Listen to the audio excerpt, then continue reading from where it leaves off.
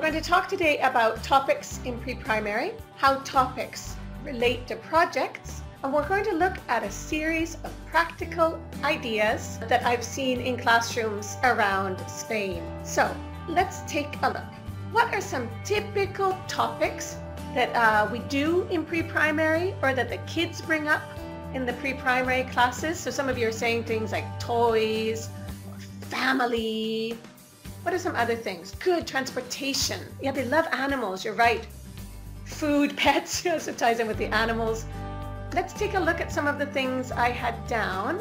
So this idea here, I feel, is, is E. That, you know, like many of us have said, they like talking about my family, my friends. So, you know, right off the bat, anything that sort of has to do with them is something that they usually quite like.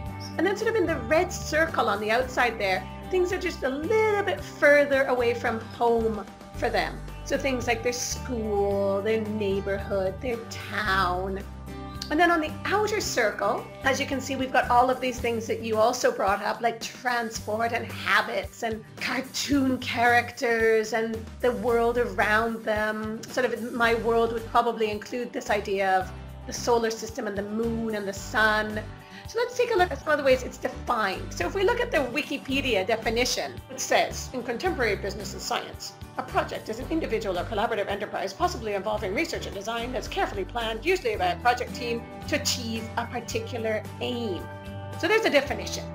But if we had to apply that to pre-primary, out of that text, which ones apply to pre-primary? For example, quite a few of you said collaborative.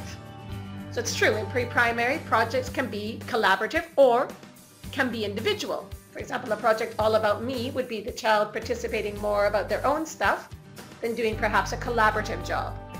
So let's take a look now at some things possibly to keep in mind for preschool projects and see if you agree or disagree. In my opinion, I think that preschool projects need to be close to students' centers of interest. So this is what we talked about with those concentric circles. So it doesn't mean it has to be close to them, you know, my family. No, they can talk about the solar system, but we wouldn't want to be, for example, talking about economics perhaps. So, you know, things that are close to the children and that the children are interested in. Uh, they need to be guided, as we said, structured guided with flexibility. Obviously, if you're guiding and monitoring students, it doesn't mean you're ordering them what to do. Uh, they should be open-ended so that they allow for thinking skills to be used. We've said here collaborative, but as we've just previously discussed, depending on the topic, they could also be individual. Some of you talked about it integrating different subjects. It can also integrate different skills. You know, they're developing different skills, cognitive skills, literacy skills, social skills through the project. Designed to develop critical thinking, be interactive, meaningful, and if possible, I think it's nice that they share, display, you know, have an opportunity to show their work to someone. We're going to look at a series of different projects that I saw during classroom observations in Safa schools and Claret in Seville. So here, this was the first one I wanted to talk to you about, an All About Me project. And what they did was, my name is, and as you can see on the left-hand side, we've got the birthday and the favorite animal and the favorite color. So again, this idea that the child is building from his or her own personal experience. So obviously this would be a more individual project with individual views and opinions, but if it's done in such a lovely way, the kids could then have their All About Me wall or All About Me display and could possibly compare and find similarities between their, their families. The other one that they did was I saw another classroom where the kids were doing the life cycle of a bird. And in this case, it was fantastic because she had the whole class dressed up as birds. They all had their bird masks that they'd made themselves on a previous day. Then she went through the story of the life cycle of the bird and how they come from the eggs and how they grow up and da da da da. She put the cards around the room and then the whole flock of birds went through the life cycle, dramatizing it at each station.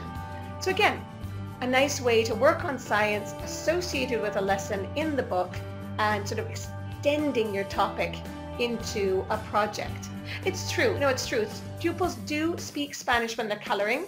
Ways we can get around that, you can put some music on in the background. If you're singing with them and they're learning the songs, they will eventually start um, picking up on more English, you really can't be expecting them to sort of sit and, and share all the time in English. So I mean, we have to encourage them, we have to provide them with lots of sort of auditory support, but we also have to be realistic, I think. Fantastic. Good. Okay. Well, I hope you can try them. We are out of time. So uh, if you have any questions, feel free to send them to us.